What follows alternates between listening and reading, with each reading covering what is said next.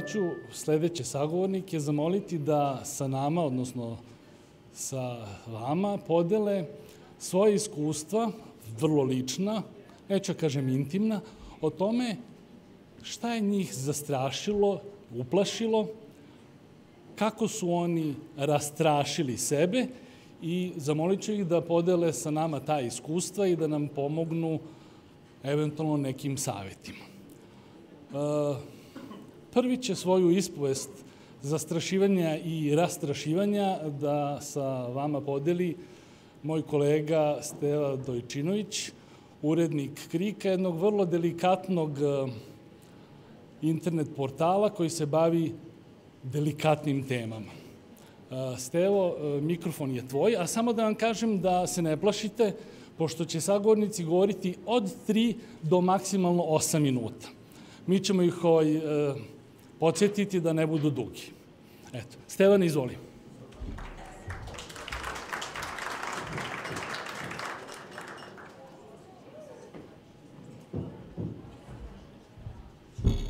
E, e, Dobroveče svima. Ja sam u stvari očekivao da će to više biti kao neki panel gde svi zajedno sedimo. Sad se više osjećam kao da treba da bacim neku rimu, ono, neki rep ili možda ne, neki stand-up komedi, nisam baš pripremljen za to. Ono što mogu krenuti možda jednom a, anegdotom koja mi se skoro desila, koja u stvari nije ni malo smešna, čak a, a, me je i uplašila na neki način, ali je, mislim da je zanimljiva za početak ovako stojeći da ispričam, a to je anegdota se desila u taksiju u kojem sam se vozio pre, pre jedno dve nedelje i ovim se tako s jednim taksistom koji jedan put je onako uh, pukao kao obično što se desi. Taksistima i krene da mi priča njegovu životnu priču gde je do pre nekih 7-8 godina imao neku radnju i onda mu je a, a, za vreme, kako je on rekao, žutih vlasti, žutaća upala finansijska i zatvorila mu je radnju i od tada on vozi taksi već 7 godina i on najviše na svetu mrzi demokratsku stranku žute i su zajedno opoziciju s tim, ali da. Veliki je, um, pod, podržava dosta sadašnju vlast. I tako, ja sedim s njim i on put on um, uh, uh, kaže kako on tvrdi i siguran je da sada više niko ne krade u Srbiji. Kao, nema šanse.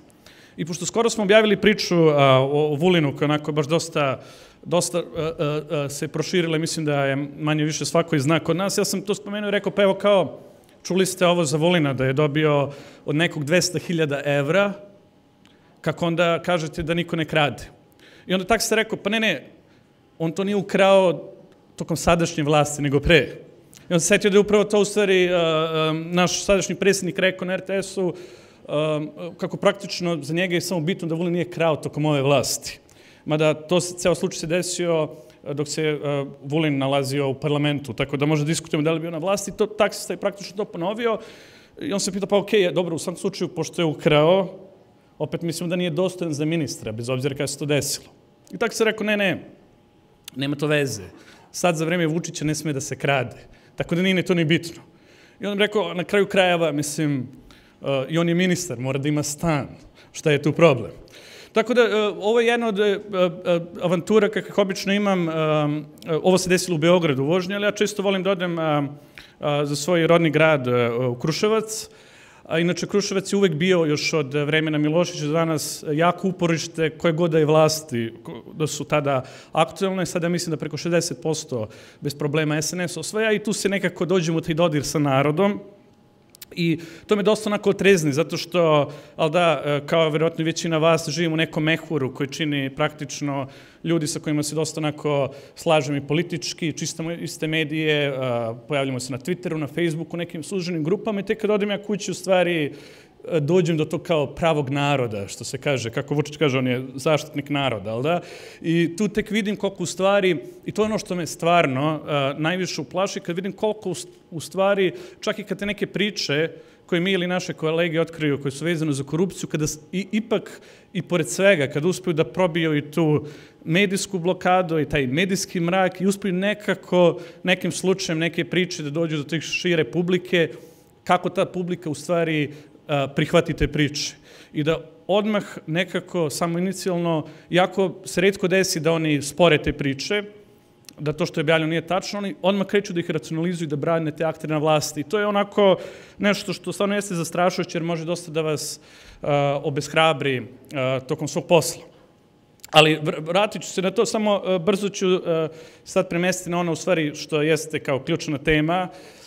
ono što je nekako uh, vulgarni uh, pritisak koji stiže na novinare, to je od državnih struktura. I mislim da za ovo kratko vreme ono što mogu da ispričam je da se pozabavim nečim što mi kao redakcija Krika imamo najviše problema, naravno institucija koja najviše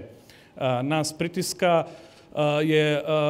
obaveštena agencija BIA. Znači, od samog nastanka naše redakcije smo prolazili kroz različite avanture vezano, vezano za ovu agenciju. Neki drugi mediji imaju više problema sa finansijskim inspekcijama i tako dalje, ali nekako nas je još od samog osnivanja na zub baš uzela bija i tu je bilo jednih poprilično onako neugodnih avantura koje traju do današnjih dana. Ali,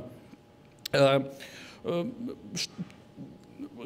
da, da, da, da napravim, kako se kaže, ono, drugu, dugu priču nekako kratkom, u suštini, još prilikom osnivanja smo jedan put primetili da različite ljude koji nas,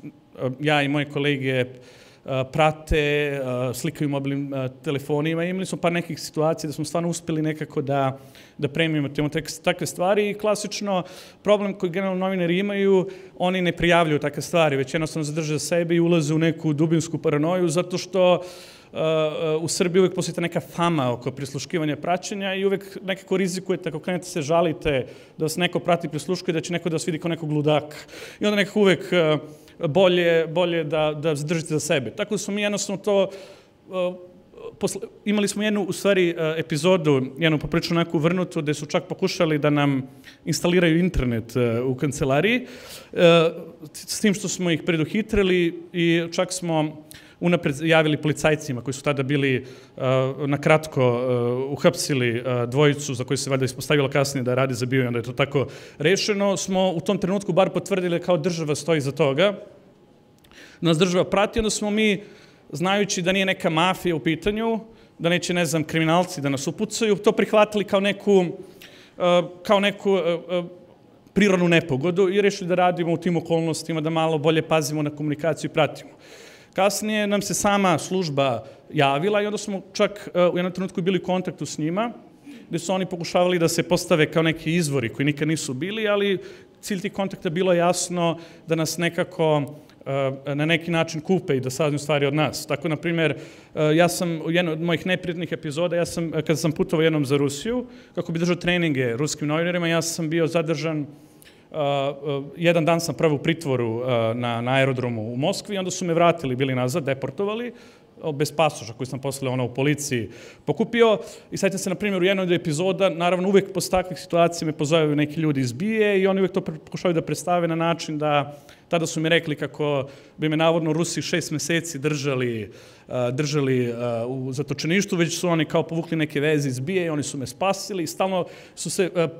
postavili tako da mi završavaju neku uslugu, a uporedno smo sećali kako nas u isto vreme rade. Ali pojenta priče da smo nekako pogrešno u tom trenutku i dalje rešili da, da, da radimo i da, i da kao nekako uradimo u tim okolnostima, sve dok se nije desio onaj čuveni serijal u. Jer praktično što se na kraju desilo, što ja stvarno nisam verovao da će otići dotle, jeste da je na kraju uh, izveštaj bio o meni, završio Informer, da su ga oni objavljivali u nastavcima. Bilo je 4-5 nastavaka i da su oni bacili uh, uh, ne, čak ne ni stvari koje nategnuto možemo uh, smatrati da su mogu biti pod interesovanjem BIE, na primjer s kim se sastavim iz neke ambasade, već su tu jedan put izletele neke nevjerovatne stvari koje se tiču mog uh, privatnog života. Tako da sam ja bukvalno u informeru mogu da pročitam uh, uh, moju telefonsku komunikaciju sa bivšom devojkom i tako neke stvari koje ni po čemu ne bi trebalo da budu predmet interesovanja a, službe. I to je bio jako težak period. Mnogo je teško objasniti ljudima, ljudi dosta naivnije gledaju to kada neko vodi neke hajke i kampanje protiv njih. To sa strane, tako bi meni deluje mnogo blaže nego kad ste vi u stvari žrtvav te kampanje, tek kad stvarno prođete kroz to, kad pričamo o ovim pravim, pravim žestokim kampanjama, možete usetiti koliko to problema pravi. Jer to bi jedan potpuni haos, Sa jedne strane, vidim da mi vreme isteklo, obećavam, završavam za, za minut, ako nije problem. E, sa jedne strane, E, nije samo pitanje toga da objavljaju neke stvari o vas i blate vašu reputaciju ili pokušavaju, već u stvari često, e, bar to se meni desilo, vidio sam da je, nije u pitanju samo informer koji se napada, već da je ceo sistem bio upregnut protiv nas. Jer u istim danima, znači pričamo u razlogu četiri dana, sem tih objava informera, otkrili su nam jednog izvora koji radi u jednoj državnoj instituciji, koji je bio odmah otpušten, bukvalno u tom periodu. I mu reći da je jedna žena, starija žena koja je bila pod penzijom, imala je čak i rak koji je lečilo, tako da je bila jedna jako loša epizoda. Drugog izvora koji je bio privatnik, poslali su mu finansku inspekciju a, u firmama, tako da su uporedno, dok su to objavljivali o meni, vršili jednu jako veliku odmazdu protiv, protiv izvora, čak su i pojačali, bili praćeni u tom, tom trenutku uh, i jednostavno stvarno ste osetili da kao nekako ceo sistem ide protiv vas. To je jeste poplično onako neprijatna epizoda uh, koja se dalje nastavlja, malo se smirila, ipak najgori period je bio taj neki mart prošle godine, ali dalje imamo sličnih, sličnih problema koje traju i koji su doveli do toga da, na primer, jako za ovaj konkretan slučaj nemamo dokaz, ali smo kao redakcijist ubeđeni da ista struktura stoji iza upada našoj novinarki Dragani Pećo uh, u stan koji se desilo pre par meseci, koji je pogotovo isto teško na nju, na nju uticao. Um,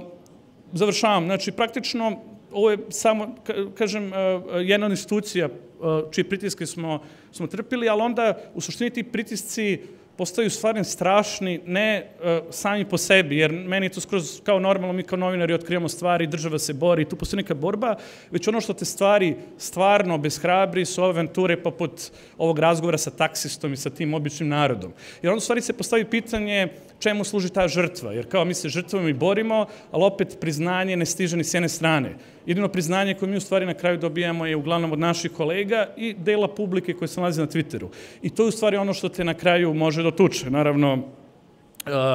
uh, uh, mislim da u ovom trenutku je jako teško baviti tim poslom i ne možemo mnogo steći priznanja kao novinari, ali sam ubeđen da će se stvari promeniti i to je naravno od jednih od ključnih razloga sem same strasti za samim poslom, ono što nas a, tera da dalje radimo. I sad mislim da sam dosta probio vreme, tako da ću skratiti, ali u praksi nisam ispričao ni, ono, ni deo što, čega sam hteo. Hvala.